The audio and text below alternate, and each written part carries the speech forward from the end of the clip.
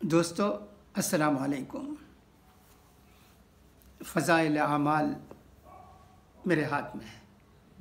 मैं इसमें से हुज़ूर अकरम सल्लल्लाहु अलैहि वसल्लम के ज़माने का एक वाक़ आपको सुनाने जा रहा हूँ। इससे हम मालूम कर सकते हैं कि सदक़ा में मुकाबला करना चाहिए। किसी और में नहीं। और ये मुकाबला कैसा था? किन में था? ये बातें आपको जब मैं फ़ज़ाइल अमाल में लिखी, इस बात को सुनाऊँगा तो आपको इल्म हो जाएगा। ये हज़रत अबू बकर सिद्दीक़ रज़ी तलान और हज़रत उमर रज़ी तलान के दरमियान की बात है। आइए अब हम इस किताब में जो बातें इस सिलसिले में लिखी गई हैं शेख़ुल हदीस हज़रत मौलाना मोहम्मद ज़िक्रिया साहब रहमतुल्लाह अलैहि से, उसे सुने।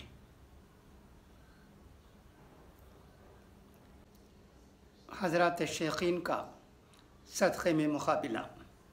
हज़रत उमर रज़ील्ला तु फरमाते हैं कि एक मरतबा हुजूर अकरम सल्लल्लाहु अलैहि वसल्लम ने सदक़ा करने का हुक्म फरमाया।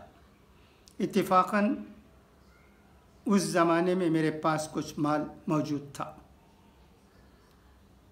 मैंने कहा, आज मेरे पास इत्तेफाक से माल मौजूद है। अगर मैं हज़रत अबू बकर सिद्दीक़ रज़ी तु से कभी भी बढ़ सकता हूँ तो आज बढ़ जाऊँगा।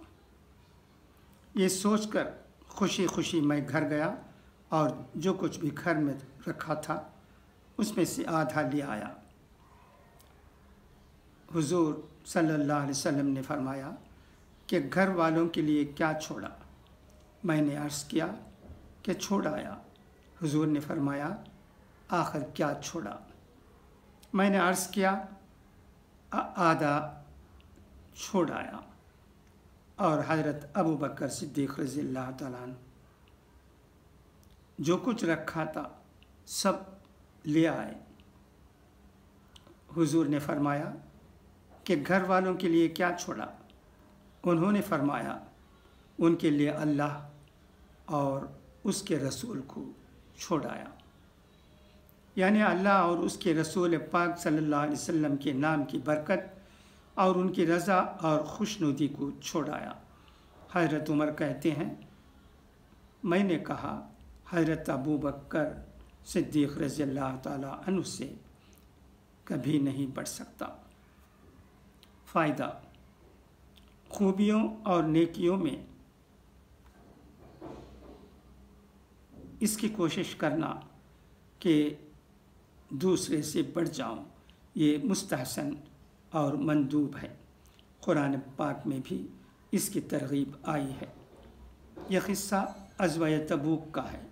उस वक्त में हुजूर अकरम सल्लल्लाहु अलैहि वसल्लम ने चंदा की ख़ास तौर से तरगीब फरमाई थी और साहब कराम रज़ी ने अपने अपने हौसले के मुआफ़ बल्कि हिम्मत व उस से ज़्यादा यानातें फरमाईं